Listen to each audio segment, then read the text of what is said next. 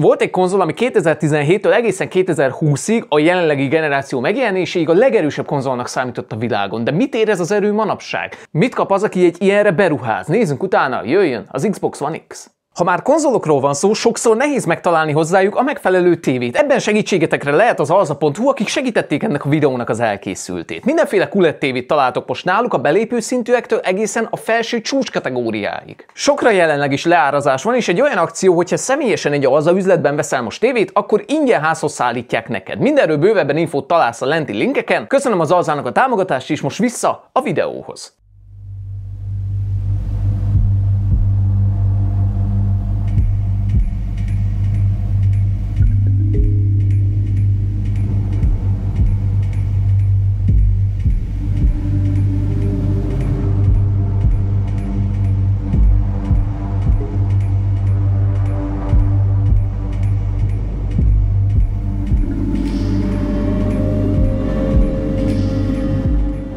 Március 10-ig minden PC-t leakcióztunk a Kingsex Shopban. Nézzetek fel, ha PC vásárlás előtt álltok.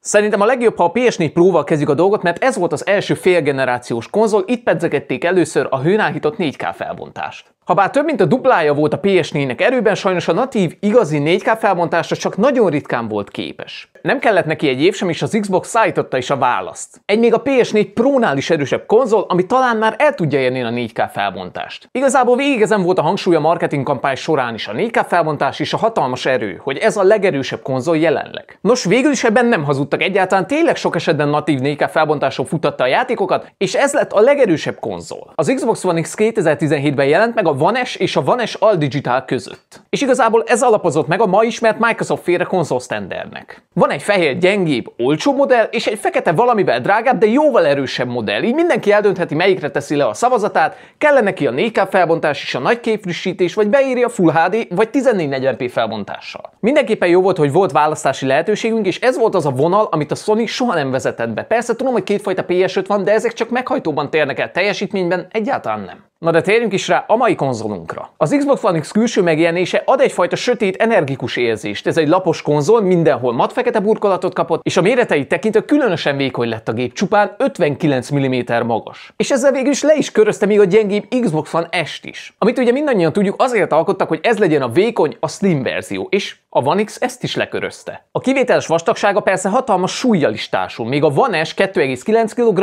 a One X majdnem 1 kg-mal nehezebb 3,81 kg, ami igazából nem hangzik soknak, de amint a kezünkbe vesszük, és számításba vesszük, mennyire vékony a konzol, nagyon súlyosnak érződik. Még azt is ki kell emelnem a konzollal kapcsolatban, hogy milyen kivételesen jó hűtéssel rendelkezik. Nem ez az első One X, ami nálam jár, és a hangját sose hallottam egyiknek se. Mindegy volt, hogy 4K játékokkal játszom, vagy csak a dashboardon vagyok, nagyon csendesen üzemelt végig, ezt azért kell kiemelnem, mert a PS4 Pro-nak volt olyan szériája, ami nagyon hangos tudott lenni. Konkrétan annyira, hogy a szobában nem lehetett megmaradni mellette is játszani. Tudom, ezt később kijavították, de voltak olyan szériák, amik nagyon hangosak voltak. Ez egy sokkal kiforrottabb hűtési technológiát kapott, és ha hozzáveszünk az erőt, amit képvisel, ez egy kivételes konzol lett. A konzolon gombok terén nem sok mindent találunk, és ezek is nagyon szolidan lettek beépítve. Az ezüst kibekapcsoló gomb mellett csak két pici gomb van, amik a lemez meghajtótálcát nyitják, és kontroller párosításra is szolgálnak. Igen, ez a konzol kapott meghajtót. Hátsó csatlakozóink vannak szép számmal. Itt figyel a tápcsatlakozó, a két darab HDMI port, ebből az egyik kimenet, a másik ugye bemenet, USB-ből van még itt két darab, ebből az USB-ből amúgy elő is találunk még egyet. Van még itt hátul egy darab Ethernet port, egy optikai hangkimenet és egy infraport. Gyárilag csak fektetett elhelyezést támogat, de egy talp segítségével tudjuk állítva is használni. Figyelembe véve, hogy milyen vékony ez a konzol, szerintem állítva jobban néz ki. Oda bent a konzol belsejében ugyanazt a processzort találjuk, csak egy kicsit felpiszkálva, mint a sima Xbox One-ban. 1,75 GHz helyett, itt már 2,3 GHz-en üzemel ez a 8 mag, amivel rendelkezik. Kapunk még 12 GB GDDR5-ös összmemóriát, emellett 1 TB-os HDD-t. És ez nem az a fajta 1 TB, mint az új generációnál, hogy a rendszer maga a gyorsítótára elkér vagy 200 GB-ot, nem, itt az 1000 GB-ot ki tudjuk használni. A konzol szíve egy AMD Polaris architektúrára épülő grafikus mag, ez kb. 6 teraflop teljesítményre képes. Hogy ezt térben el tudjuk helyezni, az előző One S csak 1,4 teraflopra volt képes, így ez egy több mint négyszeres erőbeli növekedés. Ez az, ami igazából segíti elérni a négyszeres felbontásbeli különbséget a játékoknál. Tehát azt nyugodtan kijelenthetjük, hogy a Microsoft nem aprózta el a dolgot. Olyannyira, hogy az új generáció Series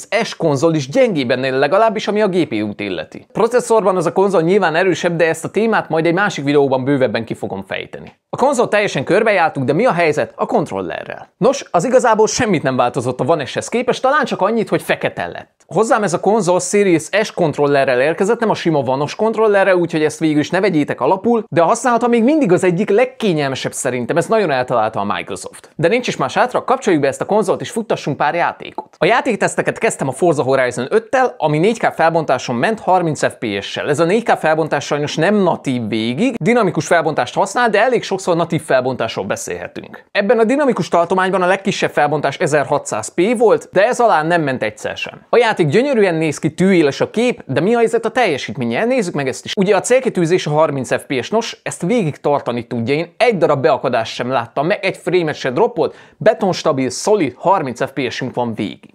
Akárhogy is kutattam, kerestem azt az egy darab FPS dropot, nem tudtam rálelni. Ez végig 30 FPS-sel megy, nagyon sima a játékélmény, még mindig nagy élmény, persze 60 FPS-sel kényelmesebb ez a játék, de a Forza Horizon-nel ellentétben ebben nincs teljesítmény és grafikus mód közötti váltás, így csak ezt az egy darab fix módot kapjuk az Xbox One X-nél. Ettől függetlenül könnyen megszokható ez az FPS, és mivel egyszer sem esik be sehova, annyira nem is zavaró, végig sima élményben lesz részünk. Egy óriási 4K tévére ez kiküldve hatalmas élmény, még nagyon közelről nézve is simák az élek, nem találtam semmiféle pixeleződést, nagyon jó élmény volt. Ezután jött a Battlefield 2042, ami köztudottan nem fut olyan jól a konzolokon, ez nem sikerült olyan jól ez a portolás, teljesítményben vannak beesések, és a kitűzött felbontás érték ugyan 4K lenne, de ez is dinamikusan megy, 1600p-ig is le tud menni. És elég kevés időt tölt amúgy a natív 4K felbontáson, ez szinte meg sem történik. 60 FPS van kitűzve, de mikor akciódúsabb jelenetek vannak, én úgy láttam, hogy 55-54-ig is le tud esni. A kis droppok, amik előfordulnak, nem ölik meg egyáltalán a játékélményt, olyan ritkán fordulnak elő, hogy teljes mértékben játszható ez a játék, nincs ezzel probléma. Amivel inkább gondom volt az, hogy grafikailag nagyon nem néz ki jól ez a játék, egyáltalán nem úgy tűnik, hogy ez egy friss megjelenés lenne, inkább valami 2015-16-os játékra hasonlít. Mindezektől függetlenül az Xbox One X remekül teljesít ennél a játéknál is, elég stabil élményben van részünk. Ezek után megnéztem egy Microsoft féle exkluzív címet, a Gears 5 ami grafikailag és teljesítményügyileg is nagyon jó.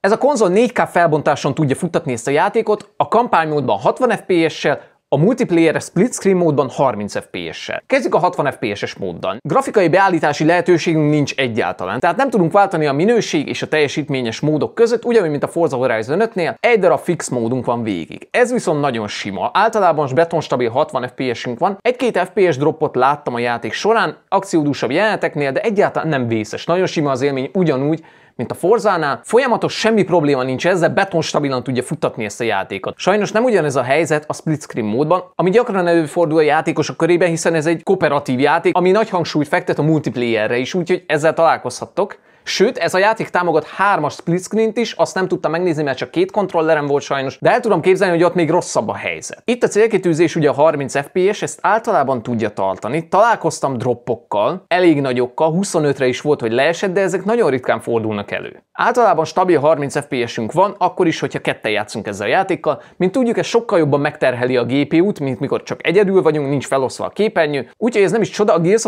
általában ez szokott előfordulni. Mikor egyedül játszol, sokkal jobban fut a játék, mint mikor multiplayerbe, kooperatívba, split screenbe, és általában mindenki így használ a játékot, úgyhogy eléggé fontos, hogy ott hogy fut. A játékélmény teljes mértékben játszható, sima az élmény, attól függetlenül, hogy van ez az 1-2 FPS drop, teljes mértékben játszható, nem öli meg a játékmenetet egyáltalán. Nagyon jól muzsikál ezen a konzolon a Gears, és ha a számításba veszük, hogy grafikailag milyen jelentős címről beszélünk, ez a 4K 60 FPS a szóló módban eléggé lenyűgöző. A következő játék, amit megnéztem, megint csak egy nem túl jól optimalizált cím, de itt a konzolon egész jól fut. Ez a Warzone 2 volt. A felbontásos célkitűzésünk 4K, ezt nem tudja tartani, ez dinamikus 4K folyamatosan egészen Full HD felbontásig le tud menni, főleg a körül tanyázik egyébként. Úgyhogy felbontás ügyileg annyira tűéles képet nem kapunk, de reméljük az FPS-sel legalább nem lesz probléma. Nos, a 60 FPS-es célkitűzést általában tudja hozni. Sokkal gyakrabban vannak beesések, mint mondjuk a Gears 5-nél, de ez elő is szokott fordulni ennél a játéknál. Ilyenkor a minimális FPS, amit én mértem, egészen 49 volt, ez egyetlen egyszer fordult elő, általában 50 FPS FPS-en belül vagyunk, ilyen 54-55 az átlagos FPS, ami még mindig nem töri meg a játékmenetet egyáltalán, az is csoda, hogy ilyen jól fut ezen a konzolon, én azt mondom. Tekintetbe véve, hogy az új generációs konzoloknál is vannak teljesítménybeli parák, teljesen jó eredmény, amit hozni tud ez az Xbox One X. Főleg akkor van probléma, ha egy épületbe bemegyünk, illetve kijövünk. Olyankor egy kicsit darabos lesz a kép, aki erre érzékeny, az észre fogja venni, hogy probléma van, de utána megint kisimul és egy folyamatos 60 FPS-ünk van. Emiatt nem fogunk mellé lőni a játékban, egyáltalán nem rontja és nem öli meg a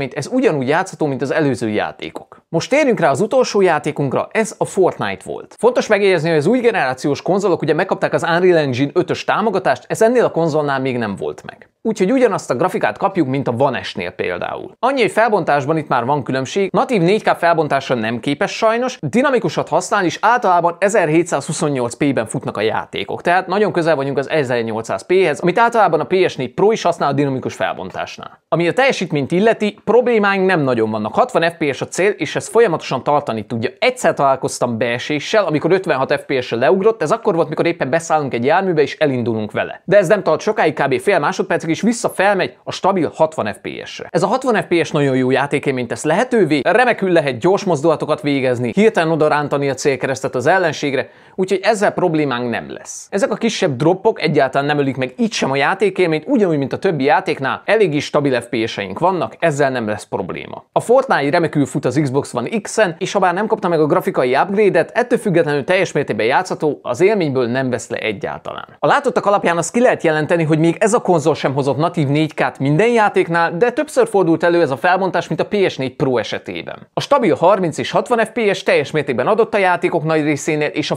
figyelembe vesszük, hogy használtan, az ára sokszor annyi, mint egy PS4 Slimnek, ez elgondolkodtató. Cross-platform címekhez jelenleg a legjobb vétel, ha inkább a felbontás preferálod, és nem fogtak meg az exkluzívan új generációra megjelent játékok. Viszont ha nem akarsz sokat szánni a konzolodra, és inkább a 60 FPS preferálod, vagy esetleg tolni szeretnéd az új Hogwarts Legacy-t, akkor a Series S konzolra kell benevezni. A Starban nagyjából ennyiért ki tudod fogni, talán egy picit drágább, mint ez a One X. Egy dolgot le kell szögeznünk, az Xbox One X 2017-ben nagyot robbantott, és egy olyan grafikai élményt hozott, amit előtte egyik konzol se. A kiforrott hűtés és ez a kompakt mérete mellette szól teljes mértékben, és ez volt az előfutára a hőn 4K felbontásnak. Na de ennyi is lett volna már ez a teszt. Hogyha tetszett és látnám még hasonló konzol kivesézős videót, akkor nyomj egy lájkot. A következőben találkozunk addig is.